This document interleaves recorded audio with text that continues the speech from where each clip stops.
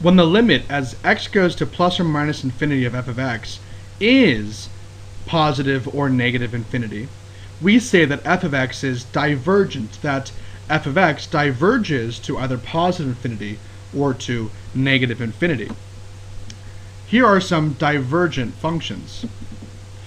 The limit as x approaches negative infinity of x cubed minus 6x squared plus 1 over 3x squared plus 2x minus 5.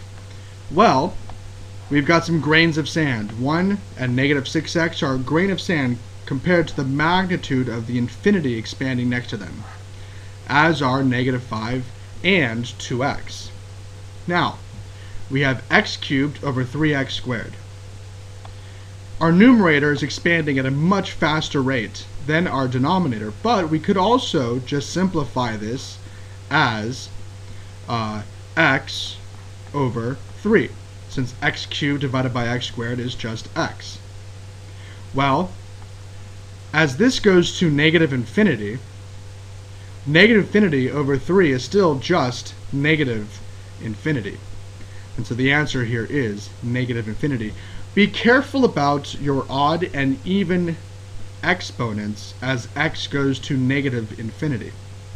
If the difference between your leading your leading terms is odd, you're going to go to negative infinity.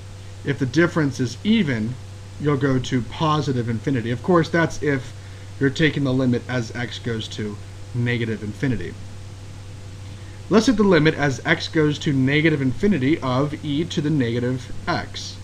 Well, if you plug in negative infinity into x, you can't really plug in negative infinity into x because x never actually gets to negative infinity, but we can think of it this way if you were to kind of plug this in, you would get e to the negative negative infinity, which is the same thing as e to the positive infinity, which diverges to infinity. Here we have the limit as x approaches negative infinity of x minus x squared. Well, compared to the magnitude of x squared, we can get rid of this x. So we have now the limit as x approaches negative infinity of negative x squared. If we were to square negative infinity, we would get positive infinity. But then we multiply that by negative 1 and it becomes negative infinity again. So the answer to this one is negative infinity. Not because we're approaching negative infinity and x squared is negative infinity. No, no, no, no.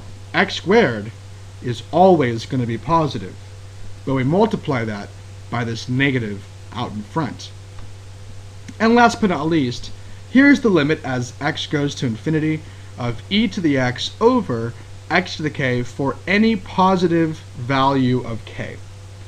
Now k has to be a value, it can't be infinity. It has to be some value. It could be huge, like a thousand, a million, a googol, but it has to be some number. Now I'll tell you this one right off the bat. This one diverges. The reason is because as x gets really, really, really big, e to the x at some point, doesn't have to happen now, doesn't have to happen uh, very soon, but far off in the future, e to the x is going to get massively huge. Much, much bigger than x to the k. And because we're going off to infinity, Wherever that happens, you have an infinite more to go from there. And so, your numerator is blowing up at a much, much faster rate than your denominator. So this actually diverges off to infinity.